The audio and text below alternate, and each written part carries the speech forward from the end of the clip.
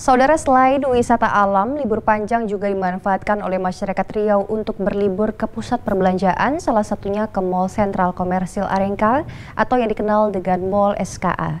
Meski di tengah pandemi COVID-19, pengelola mengaku jumlah pengunjung mulai meningkat. Pada libur panjang pekan ini, ribuan masyarakat dari berbagai daerah di Riau mulai menghabiskan waktunya untuk berkunjung di pusat perbelanjaan yang berada di Jalan Soekarno-Hatta, Kota Pekanbaru, Riau. Mulai dari memenuhi kebutuhan rumah tangga, fashion, hingga menikmati penampilan musik langsung menjadi daya tarik bagi pengunjung mall. Tidak berbeda dengan masa penerapan sosial berskala besar atau PSBB beberapa pekan lalu di masa tatanan hidup baru atau new normal – Pengunjung yang akan masuk ke mall tetap menjalani protokol kesehatan COVID-19 seperti harus mencuci tangan, mengenakan masker, melakukan pengecekan suhu tubuh, dan menjaga jarak aman.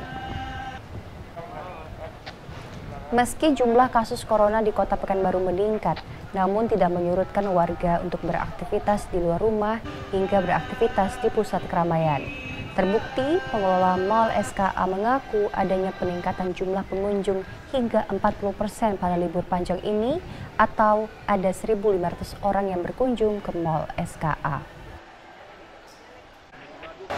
Kalau dari hari kemarin kita perhatikan memang ada kenaikan Pak kunjungan ke dalam mall ya, uh, khususnya yang tenan-tenan makanan dan tenan permainan anak-anak.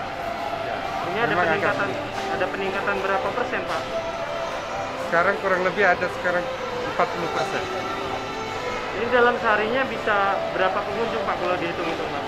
Kalau kita hitung sekarang mungkin sekitar ada 1.500an orang per hari. Untuk mencegah adanya penyebaran virus corona, manajemen mall melakukan pemantauan terhadap pengunjung yang tidak mengenakan masker dengan menegur secara baik. Soino Ardi, Kompas TV, Pekanbaru, Riau.